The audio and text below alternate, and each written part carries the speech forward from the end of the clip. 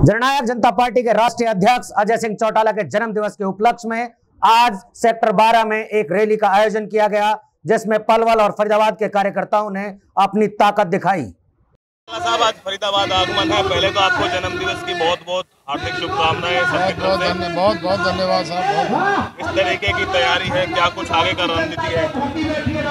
तैयारी तो निरंतर हमारी चल रही है। आज मेंबरशिप ड्राइव का शुभ शुरुआत यहाँ से फरीदाबाद ज़िले से हम कर रहे हैं।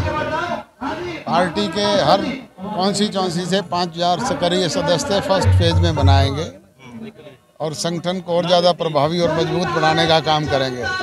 पर मुझे अपार प्रसन्नता है कि फरीदाबाद में मेरे पिछले दो महीने में तीन कार्यक्रम हुए हैं। जिस तरह का जोश और उत्साह फरीदाबाद की जनता में देखने को मिला और जो साथी हमारे साथ जुड़े, उनकी बदौलत मैं ये कह सकता हूँ, निकट भविष्य में जन नायक जनता पार्टी प्रदेश में वर्चस्व करने का। चुनाव क्या किस कंडीशन पे तैयार किस कंडीशन पे लड़ी जाएगी भाजपा के साथ जो है?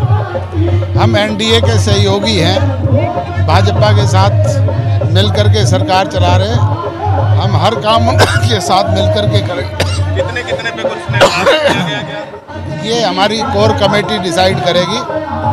हमने भी अपनी कोर कमेटी बना दी। उन्होंने भी अपनी कोर कमेटी बना दी। वो बैठ करके डिसाइड करेगी। भाजपा ने प्रचंड बहुमत जीत हासिल करी है चार राज्यों में। इस तरीके से देखते हो कितना प्रभाव हरियाणा पे रहेगा इसका। निश्चित तौर पे आज नरेंद्र मोदी का कोई विकल्प इस देश में नहीं है। भाजपा का कोई विकल्प नहीं है। आप देख रहे हैं कि देश की जनता उन्हें लाइक करती है।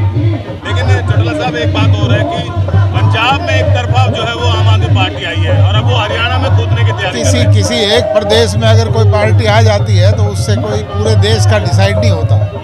एक एक प्रदेश में तो तमिलनाडु में भी है वेस्ट बंगाल में भी है झारखंड में भी है छत्तीसगढ़ में भी है पर वो तो क्षेत्रीय स्तर पे है।